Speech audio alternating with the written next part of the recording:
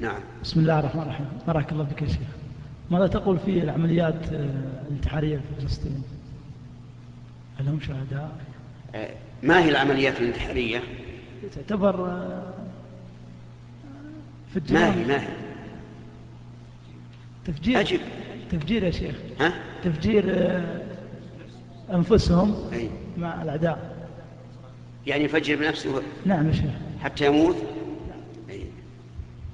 هذه سبق الجواب عليها وقلنا إن هذا الذي يفعل ذلك قد قتل نفسه وأنه معذب بما قتل به نفسه في نار جهنم خالدا فيها مخلدا كما ثبت ذلك عن النبي عليه الصلاة والسلام وأن هذا حرم عليه لأن الله قال لا تقتلوا أنفسكم لكن هؤلاء الجهال الذين فعلوا ما فعلوا إذا كانوا جاهلين ويظنون أن هذا يقربهم إلى الله عز وجل فإنه فإني أرجو أن لا يعذبوا بهذا العذاب لكن ليس لهم أجر لأن ما فعلوه إثم لو, لو تعمدوا ذلك لكن هم متأولون فيوفى عنهم.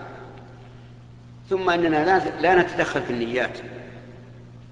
هل هذا لأجل أن تكون كلمة الله هي العليا أو انتقاما لأنفسهم فقط؟ ما ندري هذا الشيء علم عند الله لكن يجب أن نعلم أن, أن نلاحظ الفرق بين من يقاتل العدو انتقاما وبين من يقاتل لتكون كلمة الله هي العليا. من الذي في سبيل الله؟ نعم من قاتل لتكون كلمة الله هي العليا. أما من قاتل انتقاما لنفسه من قوم اعتدوا عليه فهذا لا لا يكون مقاتلا في سبيل الله.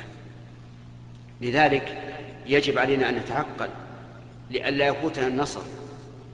فإن فوات النصر للأمة الإسلامية تبلغ ملايين الملايين على طغاة من, من, من اليهود أو الوثنيين أو غيره أسباب أنهم ما مشوا على على ما ينبغي. أولا المعاصي عندهم كثير والإهمال كثير وتجد الواحد منهم يذهب مثلا يقاتل العدو لكنه ما يصلي هو هو نفسه لا يصلي.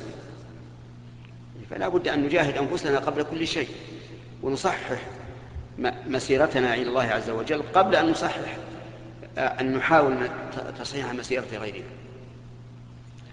على كل حال الجواب باختصار أن الانتحار حرام وأن من فعله فقد قتل نفسه وعرض نفسه للعقوبة العظيمة أنه يعذب بما قتل به نفسه في نار جهنم خالدا فيها مخلدا.